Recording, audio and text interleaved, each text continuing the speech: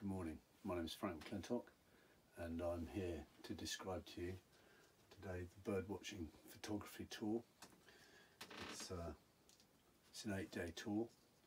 We've got four full days um, to various different habitats and the plains, uh, Sagres and the Foia Peninsula, the Faro and the salt pans and uh, the Lagoa Sant'Andrea. Those are all four full days.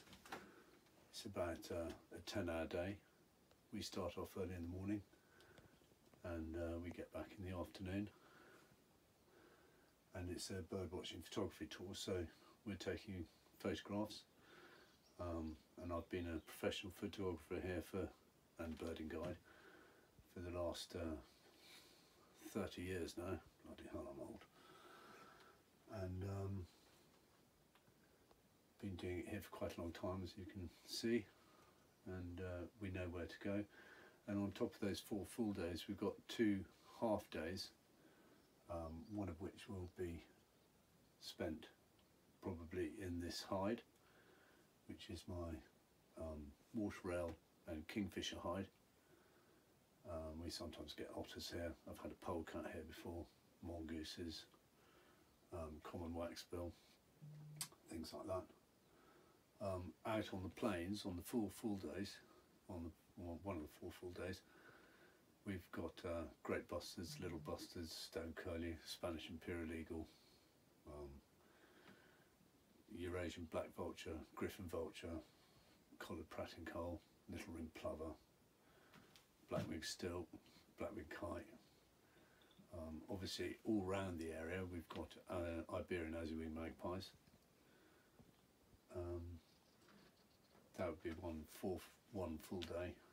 Uh, another full day is Faro salt pans. You'd probably fly into Faro and we'd pick you up from the airport and we'd take you straight out birding within about 10 minutes of you getting in the car. So um, that's the salt pans. You get little bittern down there. Um, escape cage birds like common waxbill, uh, black-headed weaver, little egret, cattle egret, great white egret, um, ring plover, Kentish plover, black-winged stilt again, uh, purple swamp hen, things like that. Um, it's a relaxed day and it's on the way up to the Quinta where you stay because it's a one-stop holiday so there's no unpacking and packing every other day to move on. So you're always returning to the same place all the time which is my house actually. Um, and we run it as a hotel. And uh, we're rated five stars on TripAdvisor. So we're good. And it's very good food. My wife's an excellent cook. We've got an extensive list of wines all with an ornithological theme. And uh, we're taking photographs as we go around. And um, if you're not into photography then I take photographs all the time when I'm going around. And I give those to you at the end of the at the end of your stay. So even if you're not a photographer you have a photographic record of what we've seen. Um, another day we go up to Foia which is the highest point in southern Portugal. 900 meters so it can be quite chilly up there.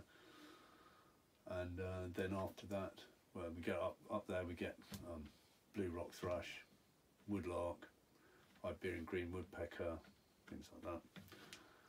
And then after that we go down to the coast down to Sagres which is um, Europe's most southwesterly point and we get a little bustard down there um, marsh harrier uh, red-billed chough.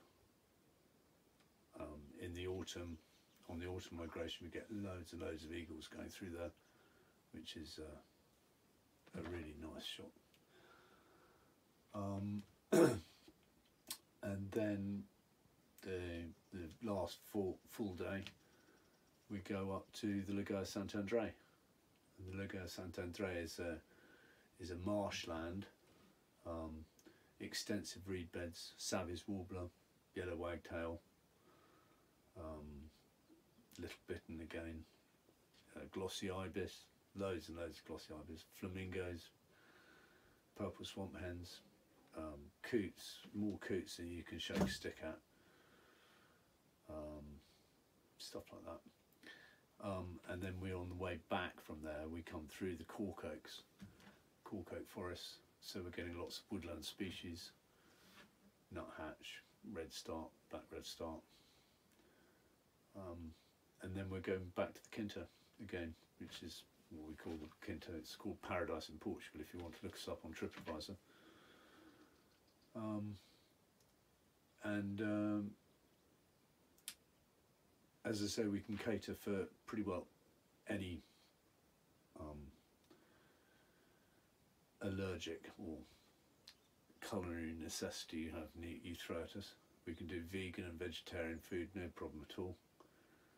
And I've been here for 35 years now, so I know the area pretty well. Anyway, I look forward to seeing you down there, and uh, we'll go birding together. Cool.